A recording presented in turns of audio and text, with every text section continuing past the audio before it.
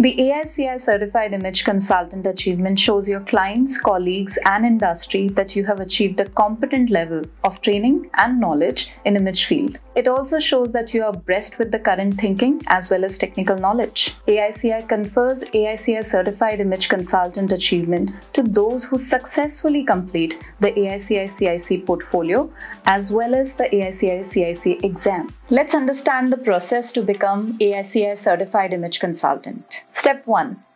Register with AICI for CIC certification by paying the certification fee. Step 2. Select your track. You can opt for option A, the AICI CIC exam first and then followed by the CIC portfolio submission.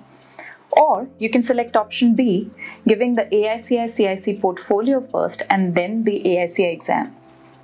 Let's assume that you have selected option A. Step 3. Prepare for AICI CIC exam and start developing your CIC portfolio based on the guidelines provided by AICI. Step 4. Give AICI exam.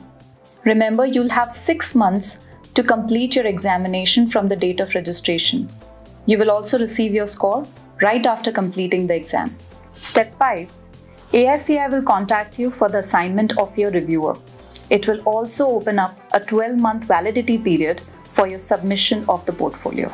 Finally, AICI will contact you with regards to your certificate once you have successfully completed all the steps to become the AICI CIC Certified Image Consultant. If you enjoyed this video, please like and subscribe to our channel. You can also click the bell icon to get the latest video updates.